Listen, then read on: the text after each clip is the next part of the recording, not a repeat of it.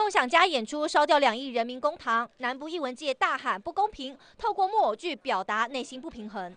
你今年为何无参加？就是咱百年建国的好戏呢？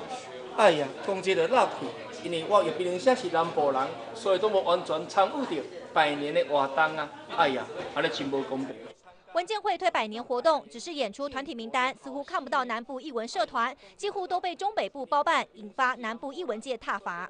感觉到重北轻南，南部只靠地方一些辅助，所以跟百年根本就是好像我们南部人好像没有在过百年的感觉。南部社团没机会搭上百年表演，相较梦想家两天花两亿，儿童剧团制作成本百万元，中央却只补助三十六万，全台巡回演出，光是瞧场地就处处碰壁。呃，艺文场馆的时候，其实都会有一点受到限制，因为当地的场馆可能他们会办一些建国百年的活动。我们认为选前，我们就很想要知道，究竟这中间有没有啊贪赃枉法的问题。文件会办建国百年，梦想家烧钱演出惹风波，南部一文件再批被中央忽视，争议又添一笔。三立新闻宋本涂永全高雄报道。